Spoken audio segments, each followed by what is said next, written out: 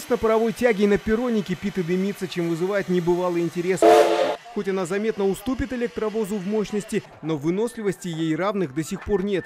В военные годы ее топливом, по его словам, были не только уголь, но и осиновые дрова и даже сушеное вобла. И вот эта замечательная поездка, которая предстоит, мы очень ждем, что получим от нее все, что ожидаем. Молодежь хотим ознакомить с тем, что было в наше время показать, э, как люди раньше жили. Паровоз серии Л-3095 получил у железнодорожников прозвище «Лебедянка» и назван в честь героя соцтруда и машиниста, который на нем добивался побед уже в послевоенной жизни. Быть законсервированным в Музее истории РЖД локомотиву не пришлось. В рамках совместного проекта он начал курсировать в Свияжск, где туристов ждет программа с посещением достопримечательностей.